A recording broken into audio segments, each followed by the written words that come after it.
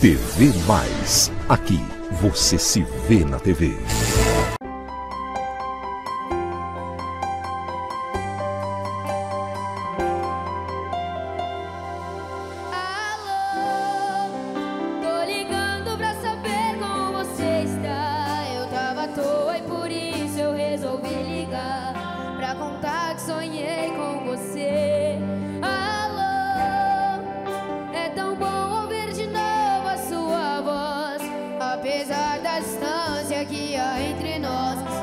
Uma coisa que eu preciso dizer.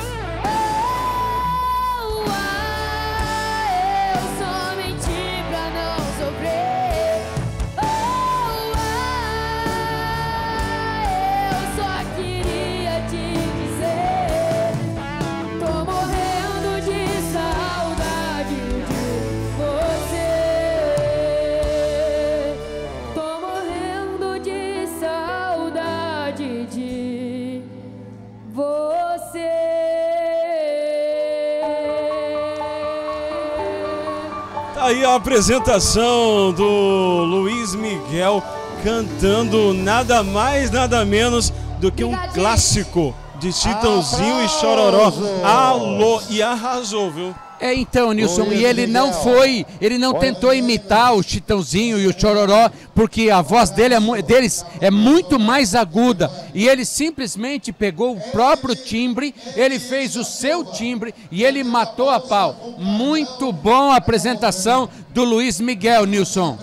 Eu, eu queria é, é, ver a expressão dos jurados vendo apresentações como essa, viu? Porque com certeza vai ser difícil eles decidirem entre, entre essas apresentações qual foi a melhor. Eu até agora não consegui me decidir. É, ver- é verdade, porque o nível o, tá altíssimo. O Luiz Miguel deve ter o quê? 11, 12 anos? Não Essa mais do que isso. E ele teve, ele, ele muito afinado.